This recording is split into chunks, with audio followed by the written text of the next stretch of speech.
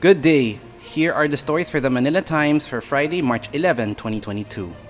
The government on Thursday released 3 billion pesos to help the transport and agricultural sectors cope with ballooning fuel prices. The aid will come in the form of subsidies and discounts. Department of Budget and Management Officer in Charge and Undersecretary Tina Rose Canda confirmed to the Manila Times in a text message that 2.5 billion pesos had been released to the Department of Transportation, who will handle the Public Utility Vehicles Fuel Subsidy Program together with the Land Transportation Franchising and Regulatory Board and the Department of Energy.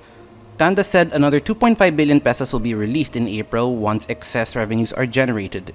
In a subsequent statement, the DBM said a 6,500 peso subsidy will be given not only to drivers of jeepneys, UV Express vehicles, minibuses, shuttle services, taxis, tricycles, and ride hailing and delivery services. The subsidy can be claimed through cash cards from the Land Bank of the Philippines by the identified 377,443 beneficiaries, it added. The Department of Science and Technology has created an app for a mobile electronic dictionary that could help preserve the country's dying languages. The e-dictionary app was created in response to the call of former Education Chief Armin Luistro in 2016 to save native languages from extinction. The DOST said only 183 of 187 local languages are in use, 175 of them are indigenous, and 8 are non-indigenous. It added that 13 languages are endangered while 11 are dying. DOST Undersecretary for Research and Development Dr. Rowena Guevara emphasized the importance of preserving these languages so that the people who speak them can save their culture. A survey by Dr. Rochelle Irene Lucas of the De La Salle University, one of the proponents of the e-dictionary, showed there are 13,000 remaining speakers of the Hanunuo Mangyan, one of the languages of the Mangyan population in Mindoro. Lucas said this indicates the Hanunuo language is still used during social interactions at home and the community. Presidential Advisor for Entrepreneurship Jose Maria Joy Concepcion III has highlighted the role of women entrepreneurs in the country's push for post-COVID economic recovery. Concepcion said women make up nearly 90% of micro and small enterprises in the country, so empowering them will be a big step as the country recovers from the pandemic. The Go Negosyo founder noted that while Filipino entrepreneurs were already active participants in e-commerce before the pandemic broke out, the crisis exposed gaps in their access to credit as well as their training in digital technology. Health Secretary Francisco Duque III said on Thursday that the Philippines will donate its excess COVID 19 vaccines to selected countries. Duque said the Philippines has more than enough stocks of COVID 19 vaccines, resulting from the country receiving 77 million doses of jabs via the Global COVAX facility, higher than the 44 million it was supposed to receive. Duque said the Department of Health is due to coordinate with the COVAX facility on how to proceed with the donations, adding it is done in the spirit of global solidarity.